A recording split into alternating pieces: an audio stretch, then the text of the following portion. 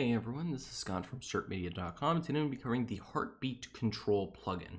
Heartbeat Control is a free Heartbeat WordPress Heartbeat management plugin on the WordPress.org repository. What this plugin allows you to do is quite simple. It allows you to modify the WordPress Heartbeat API to reduce the number of times that it ticks. Now the first thing I always get asked is, what is the Heartbeat API? The Heartbeat API is basically, think of it as like a way to for WordPress to ping the browser to see if it's still active.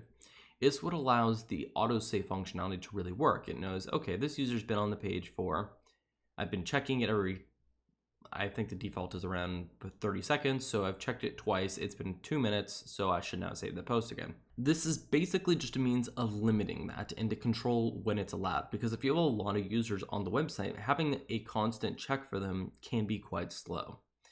So this plugin allows you to very easily modify what where it's allowed, not only where it's allowed to fire, but where it's allowed to be used.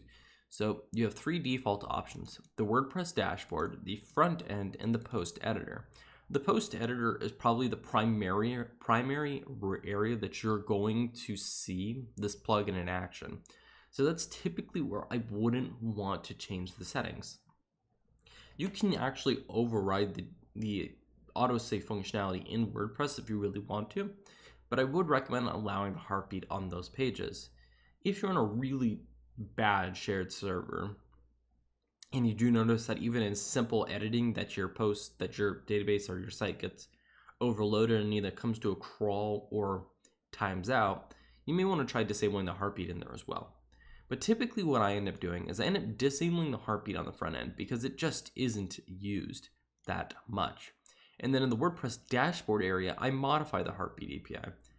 And I typically can take it all the way up to 300 seconds because the rest of the dashboard isn't particularly going to get access to the Heartbeat API. There's not a lot of autosave functionality and a lot of other checks that really need to happen. So what the override heartbeat frequency does is allows you to set an interval between 15 and 300. That interval is how long in between the heartbeat checks. The less intervals that occur, then the less resources that are used. So 300 is once every five minutes, and that's honestly not that often. And it's only in the WordPress dashboard that this setting is taking effect, but it doesn't take effect in the editor screen. So under posts and pages, this is not working. It's at the default interval. If you wanted, you could even modify the interval to your post editor screen, maybe to once every 30 seconds. And that'd be totally fine. Under the front end, as always, you can just disable it because in most situations you don't have any front end editing or any front end functionality that's dependent on the heartbeat. If you're unsure and you have a very complicated website where users are interacting on the front end and you're not completely sure whether or not you should disable the heartbeat API, and then do what I basically did for the dashboard and go ahead and set it for the highest frequency once every five minutes. And then that should really avoid any breakage. And then once you hit save, the changes take effect.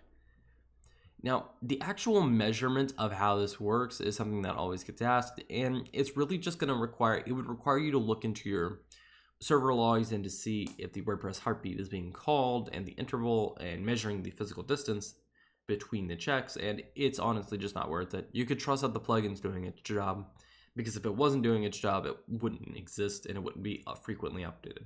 And that's really all that there is to for the Heartbeat Control plugin. It's a simple, quick solution to help reduce load on the website. If you have a question regarding the plugin, you can always ask in the comments below and I will try to help you out. Otherwise, thank you so much for watching and goodbye.